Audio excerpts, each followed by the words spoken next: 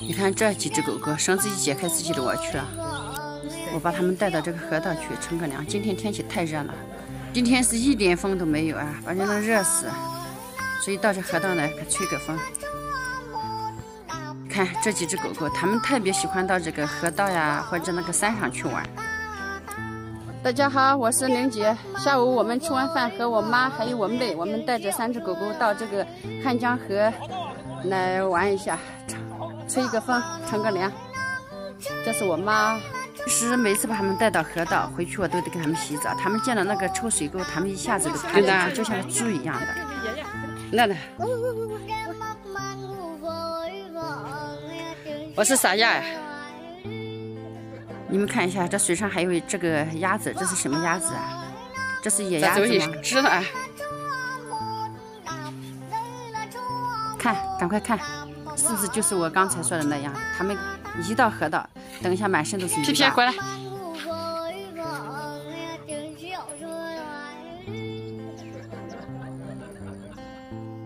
你是买反射衣吧？看，这几个跟着我妹去了，又想去玩水了。啊你看你还没这干啥一身糊的洗澡，又到水里面去了，又想下水了，不知道咋回事。他们总喜欢在那个脏水里面，还有那个烂泥里面。给你们吃也难操心，人也难操心，狗也难操心。跑去嘛，都去玩水里头。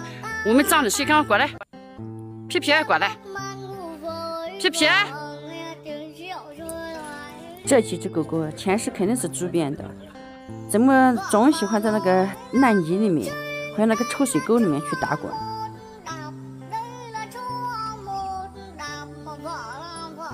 看我妈自己在那乘凉了。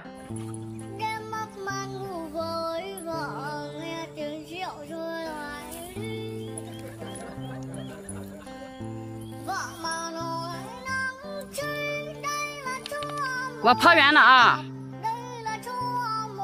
还是把它们带上岸吧，搞得现在臭死了的，就像从猪圈出来的。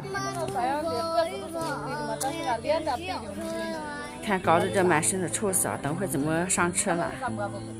坐着休息一会，把他们带回去，给他们洗澡。呃，淡定，父母狂喜疯狂的摇啊，两口到娃都要晕了。现在一个总团队。今年好了，现在把他们带回去，赶快给洗澡，满身的臭死了，搞得满车子都是那臭味。好了，今天视频就分享到这吧，谢谢大家的观看。